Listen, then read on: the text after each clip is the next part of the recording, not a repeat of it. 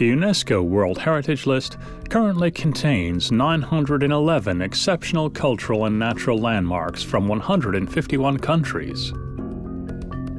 Borobudur is located on the most populous island of Indonesia, Java. This world famous 9th century Buddhist monument was made part of the World Heritage List in 1991.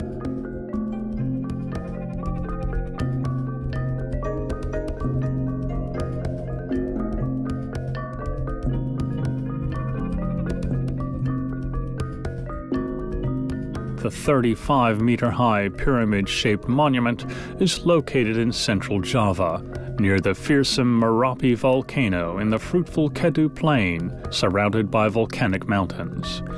When viewed from above, it takes the form of a giant mandala, a form of sacred art used in Buddhist ceremonies. India, the birthplace of Buddhism, has two sacred rivers, the Ganges and the Yamuna. The Progo and Elo rivers are their Java equivalents, and Borobudur is built near where these rivers meet. Mahayana Buddhism on Java appeared hundreds of years after its foundation in India. Mahayana, or Great Vehicle, Buddhism is not as strict as Hinayana, or Deficient Vehicle, Buddhism, which only promises salvation to monks. Between 750 and 850 AD, the Sailendra dynasty ruled on most of Java. It was during their reign that thousands of workers built this spectacular architectural wonder in 75 years. The name Borobudur originates from India. Its Sanskrit original, Vihara Buddha Ur, means Buddhist monastery on the hill. Following its short heyday, Buddhism died on Java, and this, along with the depopulation of the area, the eruptions of the nearby Merapi volcano, and earthquakes, led to Borobudur's fading into decline and obscurity. Its remains were hidden for long centuries by volcanic ashes, debris, and the tropical forest overgrowing the ruins.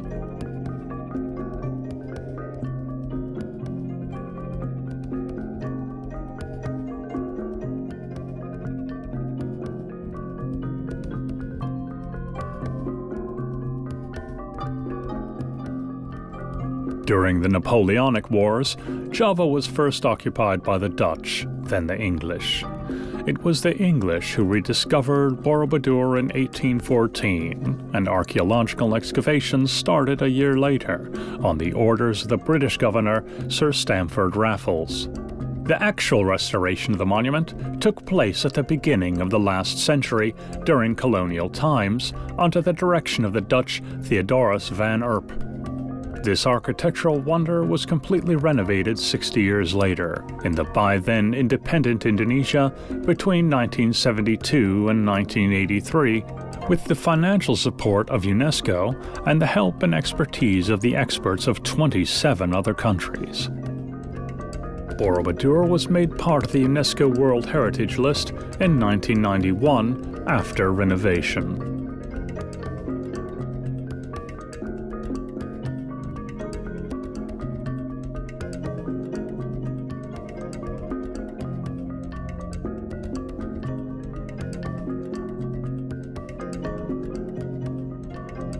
The monument stands in the middle of a carefully created 85 acre shady park. There is no temple inside the stupa. The building is made up of 2 million curved basalt blocks of volcanic origin. The sides of the square shaped base of the huge stupa pyramid are 118 meters long. The monument is composed of six square terraces and three circular terraces. The three divisions of Buddhist cosmology can be witnessed in the building. The level of Kamadhatu rises like a wall at the base of the monument. The four square terraces of the Hatu are divided by corridors decorated by sculptures and reliefs. The three upper circular platforms represent the Arupadhatu. At their center is the large stupa. The five square terraces represent the material world. The three terraces above represent the spiritual world.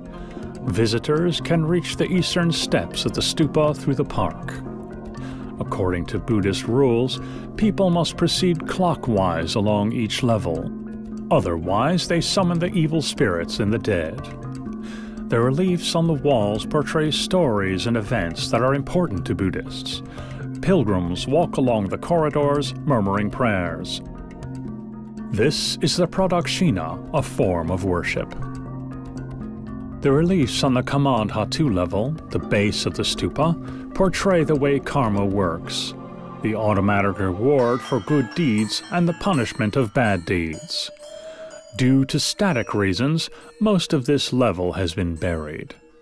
The Rupadhatu level begins on the lower wide terrace and is used for processions. The 120 reliefs of the first gallery portray the most important parts of Buddha's life, while on the walls of the following galleries we can see scenes from the lives of different bodhisattvas, people who later became Buddhas. From these carvings, we can get a picture of how people lived and what they wore in the ninth century. Scenes from everyday life, work on the field, family life, ships capsizing in storms, wars, tigers, monkeys, elephants, musicians, dancing girls, and sovereign royal couples come to life on these reliefs visitors can count a total of 2,672 reliefs on the walls.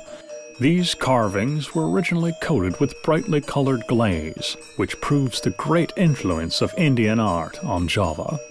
Buddha's father was King Suddhodana and his mother was Mayadevi. Buddha himself was born in Lumbini, Nepal under the name Siddhartha Gautama and received the name Buddha the enlightened one, only years later when he founded Buddhism. Although Gautama had a wife, he left his home at the age of 29 after his son was born and became a hermit. He learnt from wiser and older hermits and later found the secret to redemption through solitary meditation. After seven years of searching, he suddenly attained enlightenment while seated under a peepal tree. He realized that if we can free ourselves from the desires and suffering of today, we can reach nirvana, the perfect enlightenment, our ultimate extinction. Following his enlightenment, Buddha traveled the world and taught for 44 years. After his death, his body was cremated and his earthly remains were placed in monuments or stupas. On the four terraces of the Rupadhatu level, small Buddha statues can be found in niches. The four cardinal points of the compass, north, east, south, and west, are guarded by Manushi Buddhas. The positions of their hands, also called mudras, all have their unique meaning.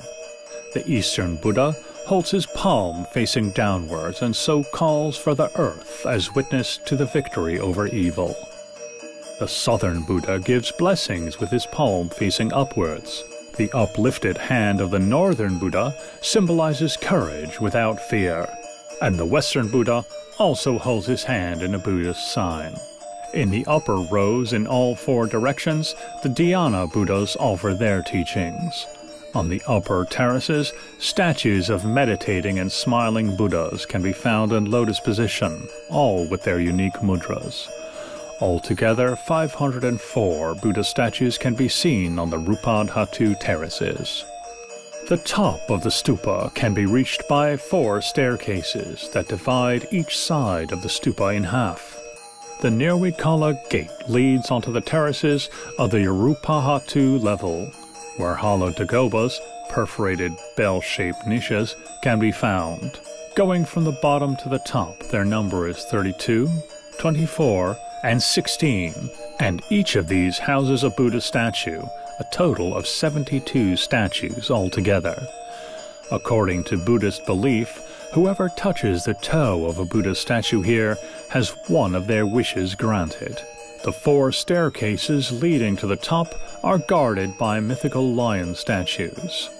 Oddly, There are no lions on Java, but there are lions in India, the birthplace of Prince Siddhartha, and Nepal's coat of arms is also the lion. In the middle of the uppermost terrace stands the 15 meter wide closed stupa, the real center of Borobudur.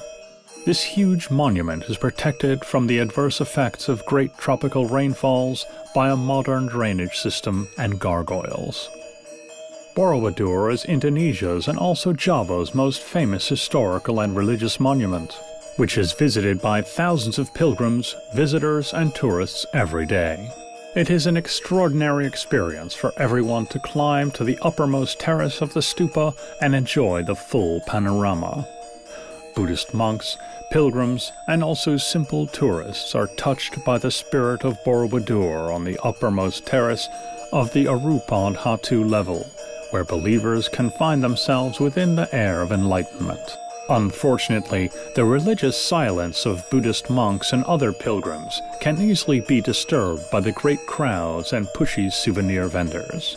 The best time to visit Borobudur is early in the morning or late in the afternoon, before sunset.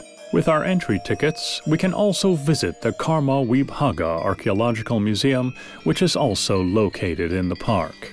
The museum's collection includes 4,000 original statues and reliefs and also a photo exhibition of the restoration works on Borobudur.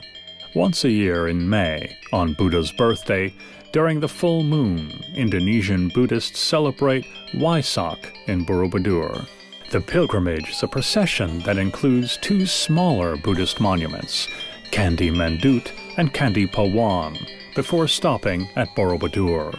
The beautiful flower garlands and the yellow, brown, and dark burgundy hoods of the monks provide a spectacular backdrop. Only people who participate at the celebrations in all three places are considered real Buddhists.